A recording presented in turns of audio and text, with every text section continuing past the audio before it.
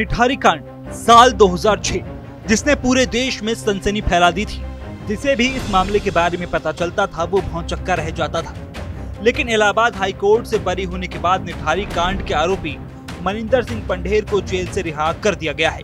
पंडेर का एक रिहाई परवाना डासना जेल भेज दिया गया था। वहीं लुक्सर जेल में परवाना न पहुँचने की वजह से उसकी रिहाई अटकी हुई थी। शुक्रवार को कोर्ट का आदेश पहुँचने के बाद पंडेर को रिहा कर दिया गया।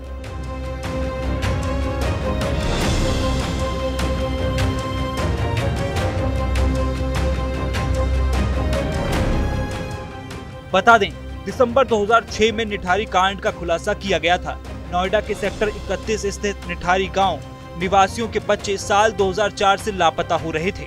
परिजन थाना सेक्टर 20 पुलिस से लेकर बड़े पुलिस अधिकारियों तक लगातार गुहार लगा रहे थे, मगर पुलिस गुमशुदगी दर्ज कराने के बजाय पीड़ितों को भगा देती थी।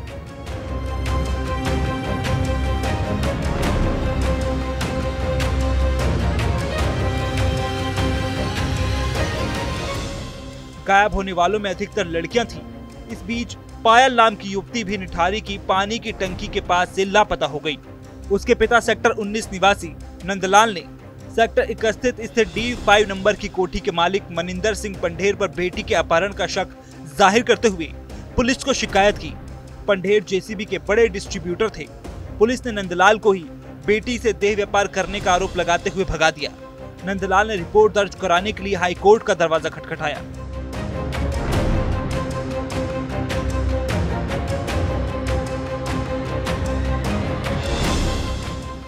जिसके बाद पुलिस ने निठारी में रहने वाले मनिंदर सिंह पंडेर की कोठी के पीछे नाले से बच्चों और महिलाओं के दर्जनों कंकाल बरामद किए थे। पुलिस ने मनिंदर सिंह और उसके नौकर सुरेंद्र कोहली को आरोपी बनाया था। पुलिस की विवेचना के बीच ही मामला सीबीआई को ट्रांसफ़र कर दिया गया। सीबीआई ने दोनों के खिलाफ अपहरण, दुष्कर्म और हत्या के कुल 16 मामले दर्ज किए थे।